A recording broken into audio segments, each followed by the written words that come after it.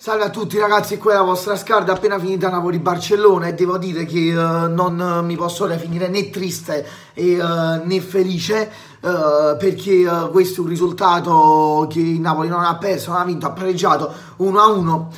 ovviamente però non, non, è che siamo proprio messi, messi, bene perché al ritorno questi qua in casa loro fanno, fanno, paura, basta vedere gli ultimi risultati negli ultimi tre anni che hanno vinto 3-0 0 contro il Liverpool, 4 a 1 contro la Roma, eh, 6 a 1 contro il Paris Saint Germain e quindi eh, la, vedo davvero, la vedo davvero molto dura. Più che altro mi rode il culo perché questi qua, come, come hanno, fanno paura in casa, facevano ridere eh, fuori casa perché eh, gli ultimi, sempre gli ultimi risultati degli ultimi anni eh, perdono 4 a 0 contro il Liverpool, perdono 3 a 0 contro la Roma, perdono 4 a 0 contro il Paris Saint Germain e quindi il Napoli poi eh, l'unica squadra che va a fare no 2-0, no 1-0, ma va addirittura a pareggiare 1-1, anche se comunque era un po' diversa la situazione era un po' diversa, il Barcellona non era addormentato come quelle partite che ha perso, Uh, il Barcellona ha fatto la sua partita, ha fatto il suo possesso palla, ha giocatori esperti su questo, sta Sergio Busquets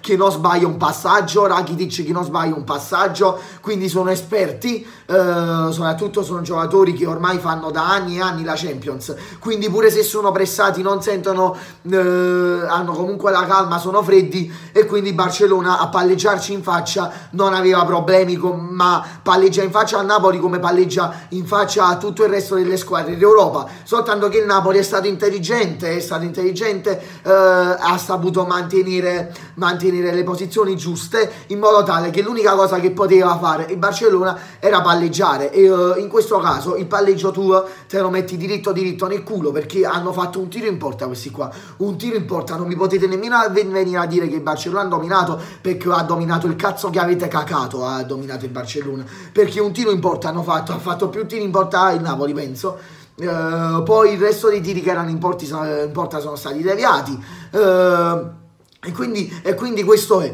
C'è che il Napoli uh, trova il vantaggio con un grandissimo gol di Dries Mertens ed è 1-0. il secondo tempo, dopo una partita tutta concentrata, basta un calo di concentrazione, il, il Barcellona disegna, fa 1-1. Poi il resto della partita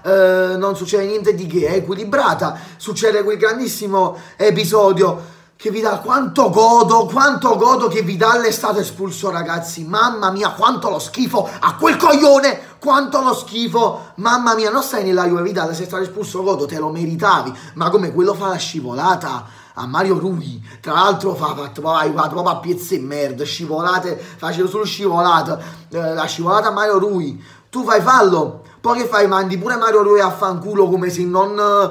come se non doveva cadere a, a terra. Tu hai pigliato, hai pigliato sulla is, lo mandi a fanculo. Quindi Mario lui giustamente, giustamente, e uh, pure se può essere contro il fair play, io dico giustamente, lo penserò sempre, che è giusto quello che ha fatto Mario lui. C'è Van Gol, fenomeno,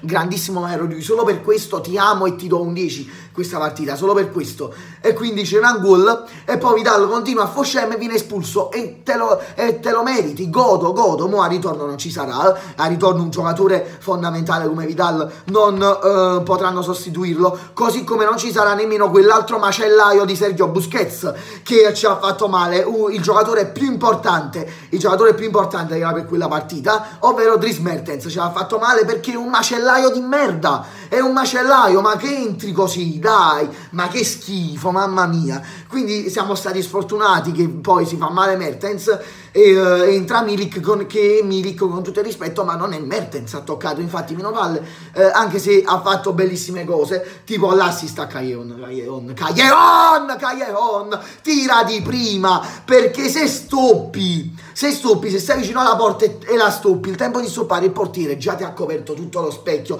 soprattutto se stiamo parlando di un portiere eh, come Ter Stegen che è un campione tira di prima dove va la palla, eh, ma ci sono sicuramente più possibilità di segnare piuttosto di stopparla e tirare dopo, perché ovviamente Ter Stegen ti copre tutto lo specchio e tu gliela tiri addosso.